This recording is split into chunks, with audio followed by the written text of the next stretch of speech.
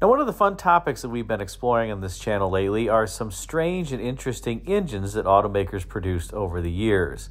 And one of the things that spawned a number of strange engines were instances where automakers either added or dropped off cylinders to an original engine configuration to make another engine.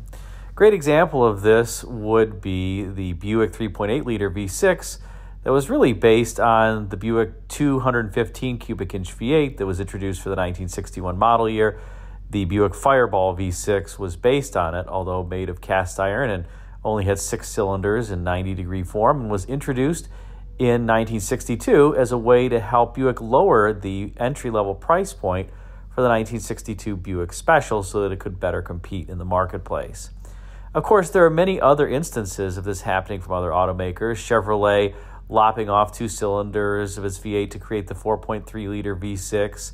AMC taking its six cylinder engine and lopping two cylinders off to make the 2.5 liter four cylinder. Ford lopping off four cylinders of its original proposed 60 degree double overhead cam V12 configuration and creating the GAA 1100 cubic inch all aluminum double overhead cam flat plane crank V8 engine that was used in World War II Sherman tanks.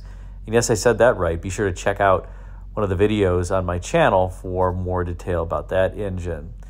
And one of the more, let's say, famous engines to employ this technique was the Pontiac Trophy 4 that was introduced in the 1961 Tempest. The Trophy 4 was quite literally half of a 389 cubic inch V8. And take a look here, you can see that it is literally a 389 V8 with the driver's side cylinders missing, just has the passenger cylinder bank. And that driver's side area fills a number of other things, including the starter and some other componentry. That was obviously a large four cylinder, being half of a 389 cubic inch V8 it displaced about 195 cubic inches, 194 and a half to be exact. But there's another automaker that employed a similar technique to develop a few four cylinder engines, and that was International Harvester. Now, International Harvester produced many awesome pickup trucks and sport utility vehicles over a number of years often outfitted with engines that were designed, engineered, and produced by International itself, although they did use engines from other automakers in some cases, including American Motors' six cylinder engine in a few vehicles. But when International introduced the Scout for the 1961 model year, it was looking for a, an appropriate powertrain, and according to International, it just couldn't find one in the marketplace, so it needed to develop one itself. Let's take a look at this ad for International's new 152 cubic inch Comanche four cylinder engine that was introduced in that 1961 Scout now. As you can see here, take a look at the text of this advertisement. And in the first paragraph, you see International says, during the development period of the Scout, practically every available four cylinder automotive engine was considered. None satisfied all engineering requirements. In view of tremendous popular acceptance accorded International six and eight cylinder engines, it was decided to design an all new four cylinder model embodying similar principles and many identical parts. The result is the Comanche engine that delivers exactly the right amount of responsive power with frugal use of standard grade gasoline. And thus, the 152 cubic inch Comanche engine was born. And the Comanche engines, the four cylinders, would be the base engine in the Scout. And in the 1961 model year, this 152 cubic inch four cylinder was the only Comanche engine offered in International Scout lineup. Now, as I said, this Comanche four cylinder was effectively, just like the Pontiac Tempest Trophy 4, half of an International V8, more specifically, half of the International 304 cubic inch V8 hence its 152 cubic inches. And it shared many, many components, including valve train components, cylinder heads, pistons, connecting rods, etc., with that larger 304 V8. So it was extremely economical to engineer as well as produce. The only somewhat unfortunate part about this new four cylinder engine is that let's just say it was debatable that it gave the customer the right amount of quote unquote responsive power. 93 horsepower was not exactly something that was going to get your 3,000 poundish Scout up to speed with any amount of speed or really give it an ability to maintain that speed on steep hills. It did have decent torque at about 135 pound feet, but still, that wasn't great for a relatively heavy vehicle. As time would go on, International would employ a number of solutions to solve that, including turbocharging the 152 cubic inch four cylinder in the 1965 model year and endowing it with 111 horsepower. It's pretty surprising that International would take this approach with its four cylinder engine, as turbocharging back in this time frame was quite rare indeed. In fact, the Corvair Monza as well as the Oldsmobile Jetfire were really the first automobiles sold in the US to have turbocharged engines in mass produced form. And that occurred just in 1962, a few years prior to International turbocharging its 152 cubic inch four cylinder engine. For 1965, International would upgrade the Scout and now call it the Scout 800 versus the Scout 80 that it was previously called. It had a number of changes, including now a fixed windshield as opposed to one that was movable. But for 1966, the big news would come on the four cylinder front as the 152 cubic inch four cylinder would now have a sister, the 196 cubic inch four cylinder Comanche engine that was based off of International's larger V8. More specifically, this 196 was based off of International's larger 392 cubic inch V8 engine as opposed to the 152 being based off of International's 304 cubic inch engine. The 196 did offer a bit more power than the standard 90 ish horsepower 152 cubic inch Comanche 4, and it made 111 horsepower in its inaugural model year. Still not great power, let's just say, for a 3,000 plus pound vehicle, but better than what it had before. And perhaps because the Scout now had this 196 cubic inch V8 after the 1967 model year, the turbocharged 152 cubic inch four cylinder was dropped. And perhaps another reason why the turbo four cylinder was dropped is that partway through the 1967 model year, International really started focusing on more powerful engines, especially as the V8 Bronco was introduced.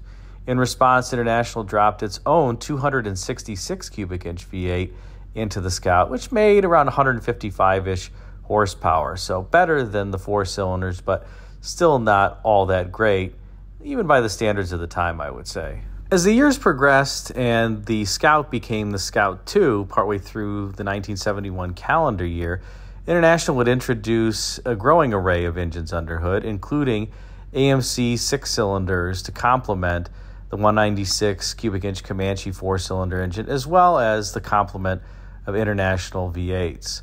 Interestingly, while International did place AMC six cylinders under hood, they never used another AMC power plant in the Scout 2, either four or eight cylinder. But as I mentioned, they did use AMC inline six cylinders under hood in some cases as an engine option. So, in summary, with its 152 and 196 cubic inch four cylinder engines, International had found a great and cost effective way to introduce a smaller and more fuel efficient and cheaper power plant under hood of its Scout vehicles. Now, the one drawback to this design, well, there are a number of drawbacks, but one large one, especially with a 196 cubic inch four cylinder engine, was just the coarseness of it. Four cylinders are inherently imbalanced, and the larger they get, the more their secondary vibrations just tend to show. Now, perhaps some of this coarseness was a little bit more acceptable in a truck or a truck like vehicle like the Scout as opposed to the 1961 Tempest. And International certainly didn't have the Tempest rope drive to help smooth out some of the engine's vibrations.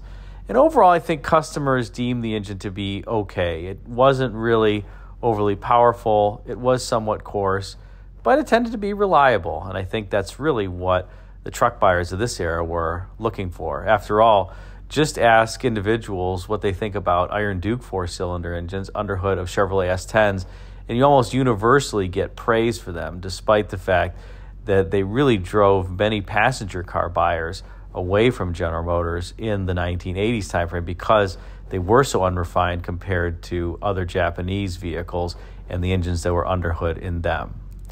So, in any case, the International Scout and the Comanche 152 196 cubic inch engines were successful, they were durable, and they allowed the Scout to be produced with eh, some cheap, cost effective engines under hood. Now, International produced a number of awesome sport utility vehicles, as I mentioned, over their history. I have to say that while the Scout and the Scout 2 are pretty cool, my favorite happens to be the International Travelall, kind of the Chevrolet GMC Suburban of the International fleet. And I had an opportunity to buy one of these years ago that was fully loaded with the largest V8 underhood and I passed it up, and that's one of the regrets that I have. We're going to save a discussion on the International Harvester Travelall. And instead, we'll just close out with some final factoids about International Harvester, and more specifically, its logo, this combined IH design, which was designed by none other than Raymond Loewy of Studebaker and Coke bottle fame. Loewy was employed by International for a period of time and really helped revamp its lineup. But one of the other things that he did was redesign the International Harvester logo into the logo that you see here, this combination of I and H. Now, many people see it as a combination of an I and H, and that makes logical sense because it stands for International Harvester, obviously. But Loewy actually hit another detail in the design, and that is if you take a look again at the logo, it does resemble a farmer riding a tractor if you're looking at it from the rear. You can see the two wheels as well as the individual riding atop the tractor, again from the rear of the tractor. So I thought that was a cool detail that some folks may not know, and it was done by an individual who was really a design powerhouse under whom Virgil Exner worked, and what is arguably one of the most beautiful cars ever designed, the 1953 Studebaker that was actually penned under Raymond Loewy's direction. So, International Harvester has some interesting ties to other elements of automotive history, and we'll talk about those in a subsequent issue. Till then, thanks for watching. Hope you enjoyed. Please be sure to like, comment, and subscribe, and check out the video thumbnails at bottom left and right for some suggestions for you. Thanks again for watching.